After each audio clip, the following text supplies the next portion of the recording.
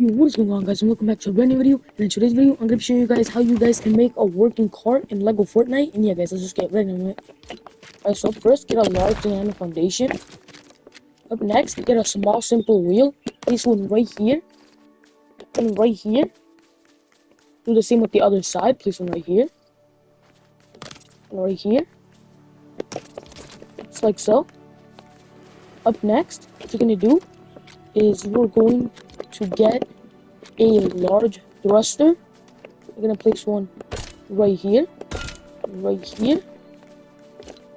Up next, you're gonna get a small thruster, and you're gonna place it on the side right here, and right here. Next, you're gonna get a wrench, and you're gonna change this to channel 1, this also to channel 1, change this one to channel 2 and the other one should already be to channel 3 so up next get any driver seat. I'm gonna use a large driver seat.